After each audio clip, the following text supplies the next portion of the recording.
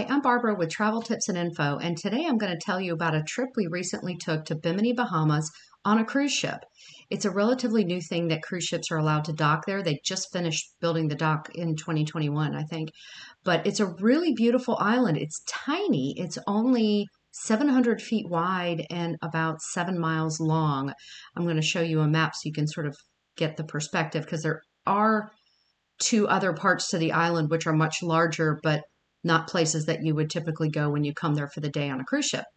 If you want more detailed information, I have a written blog at traveltipsandinfo.com that really outlines every detail.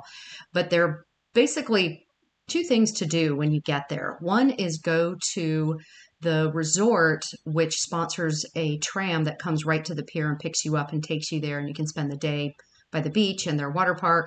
And the other is to just walk down the pier and catch a taxi tram to Radio Beach and Alice Town, which is really easy to do.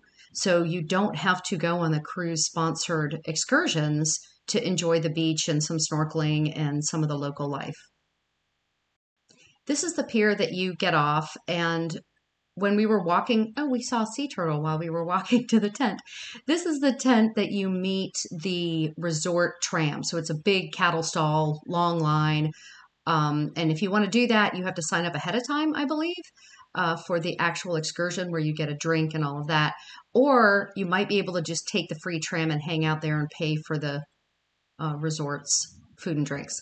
So if you walk all the way around that tent, you can just go straight off the pier toward town. It's kind of a long walk, but it's beautiful because since the pier is so new, there's not a lot of overbuilding and commerce, and it's just pretty natural. So we walked all the way to the end of the pier, and um, when you're almost at the end, you'll see a golf cart storage area don't go there. Don't think you can rent carts there because you can't and they'll just ignore you. You have to keep walking until the end to that information booth. And that's where you can pick up a taxi for $5 or rent a golf cart. And by taxi, I mean a tram that takes you into town and they give you a little tour on the way, although the audio was so bad we couldn't understand anything she was saying. And then they drop you off here where there's a little shopping area for t shirts and souvenirs then behind you is the sidewalk that goes up to the beach. It's only about 100 yards, but as you can see, it's really rural and natural, and that's what we loved about this island. It's not overbuilt.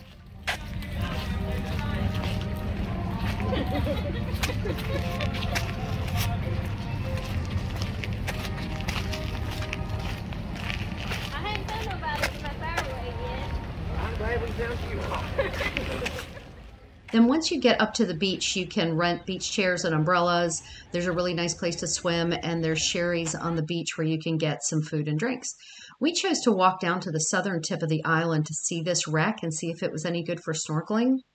But we really found that it was too shallow, and we continued to walk down to the southern tip.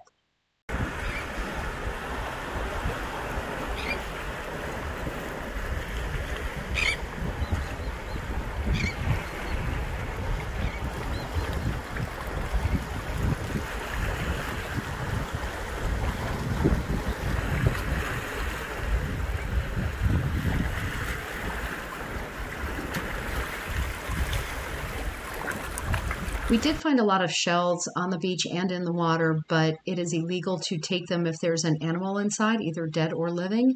So I would recommend that you take them off the sand because they will ask you when you get back to the ship if you got it from the water or the sand. So best to be safe. The snorkeling at the southern tip was definitely better than in the other places. You're not seeing large coral reefs, but you are seeing some colorful fish, and there's an easy spot to get in right there where it's um, protected from the waves and the wind, and it's easy to just walk in from the sand. So we really enjoyed snorkeling at this southern tip more than the wreck, which we did go back to, but it was just so shallow, and the as you can see, the waves are hitting the rocks right there, so it's a little bit difficult to get in. And this was not a rough day, so I can only imagine what it would be like if it was really rough. If you want to go fishing, there were some fishing boats that were anchored in the beach area where people were swimming, and you can just swim up to them and rent them for the day. I have no idea if they're any good or legit, but I did get a business card from the taxi driver on the way back, and that's on my blog with their phone number and contact information. But again, I have no idea if they're licensed or if they're any good, just some local people who um, run charters. So there's our ship in the background of the beach. As you can see, it's not very crowded. We got a couple of drinks from Sherry's on the beach and collected some more shells and just had a really nice day there. There's their menu if you want to take a closer look. This is as of September 2021.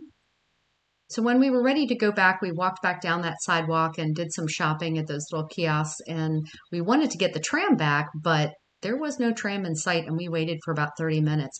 So finally, a taxi came up in a, a car taxi, not the tram taxi, and asked us if we wanted to ride back to the ship for five bucks. So we took that deal. This is the area near the entrance to the pier where the trams would drop you off if we had taken one. And then we had the long walk down the pier back to the boat. We did see the Bimini Fast Ferry, which was docked there when we got back. It is a really cool boat, and that goes from Fort Lauderdale to Bimini daily. You can get day return tickets or return another day or one way tickets, but I've got a link on my blog to their website for more information. We got back to the ship in plenty of time, a, few hours before they were due to leave, so we had time to have a drink and sit out on the deck and just enjoy the view of the island. We had such fun here. I would definitely take a cruise back to this location in the future. For more information on cruising or travel around the world, visit my website at traveltipsandinfo.com.